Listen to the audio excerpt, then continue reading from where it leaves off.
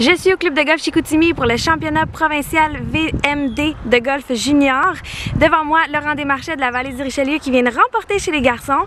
Euh, deuxième fois champion cette année parce que tu as remporté aussi le championnat de l'Ontario premier lan, c'est exact? Oui. Félicitations euh, Laurent. Qu'est-ce que ça signifie pour toi d'être le champion provincial junior? Euh, c'est vraiment le fun de pouvoir revenir ici à Chicoutimi puis de pouvoir tri triompher après un, un échec à, à Beauceville l'année passée. C'était bien parti, puis je l'avais échappé. Puis je suis content d'avoir tenu quatre rondes euh, face à Rémi euh, ce week-end. Oui, parce que tu as eu toute une ronde finale contre Rémi, donc là on va en parler.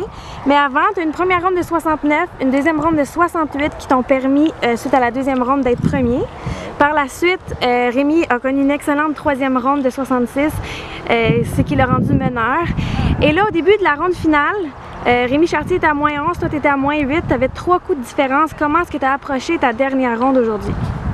Euh, un peu plus agressif que les autres jours, juste mettre des balles dans le feu, mettre ça sur le verre, quand même proche, puis juste espérer que les potes tombent, puis que lui fasse des erreurs, ce qu'il n'a pas fait les jours auparavant.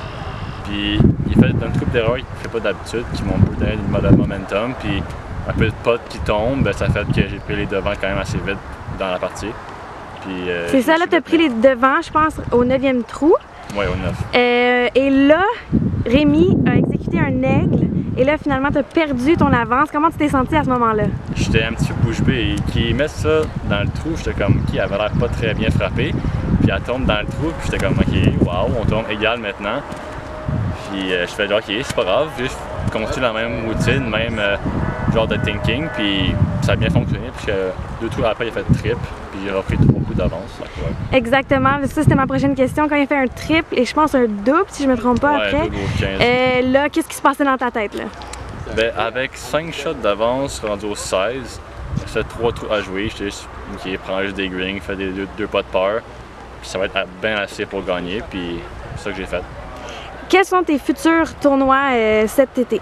Bon, euh, la semaine prochaine, je vais au provincial amateur, qui est à Notre-Dame de l'île Perrault. Ensuite, je vais euh, au Canadien junior et Canadien ama- amateur qui est la semaine d'après.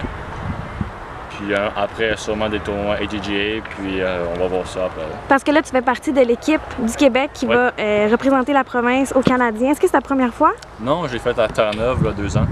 Et là, tu es avec Rémi Chartier, avec Christopher Vendette. Comment tu vois ça? Une bonne équipe, trois bons joueurs. Je pense qu'on peut gagner ça, là.